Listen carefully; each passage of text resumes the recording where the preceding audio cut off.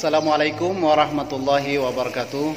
Alhamdulillah, Muhammad ala sayyidina Muhammad wa ala sayyidina Muhammad. Pada kesempatan ini kami mengucapkan mohon maaf lahir dan batin selamat lebaran.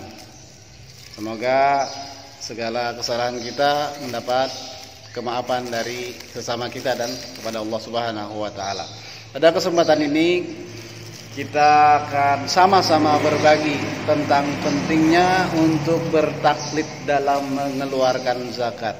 Kenapa demikian? Karena Imam Syafi'i mewajibkan kita menyerahkan zakat kepada golongan yang delapan jenis penerima zakat. Sedangkan sekarang penerima zakat sudah tidak mencukupi daripada delapan golongan tersebut maka kita diharuskan untuk mengikuti ulama yang membolehkan menerima penyerahkan zakat kepada golongan yang kurang delapan jenis tersebut. Sebagian ulama berpendapat demikian. Bagi kita yang mengikuti pendapat ulama yang harus bertaklid kepada ulama yang membolehkan menyerahkan zakat kepada golongan yang kurang daripada delapan jenis, maka hendaklah bertaklid dahulu sebelum berniat mengeluarkan zakat.